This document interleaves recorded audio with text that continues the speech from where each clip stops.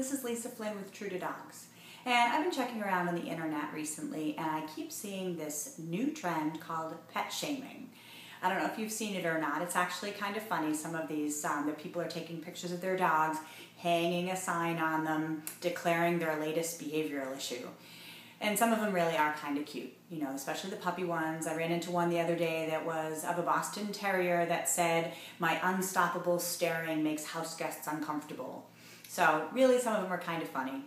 But as I was looking around, I actually ran into an article by um, Lorrie Shaw. She is a contributor for the Ann, for AnnArbor.com, and she wrote a recent article entitled "Is the Fun Trend of Dog Shaming a Stark Illustration of Their Inadequate Lives?" You know, and that really gives us something to think about because an awful lot of these behavioral issues that these pets are being shamed for, such as running away, being destructive in the house, incessant barking, and so forth, a lot of these issues could be fixed with just more exercise, proper training, and of course, more interactions with the dog's owner. So it really makes us think about whether or not we're using this new trend of pet shaming as an excuse for us not being responsible for our dogs you know, it brings to mind the whole Marley and me thing too. As a trainer, I have an awful lot of people that would call me saying, Well, my dog needs training, but I'm really not sure he can be trained because he's just like Marley.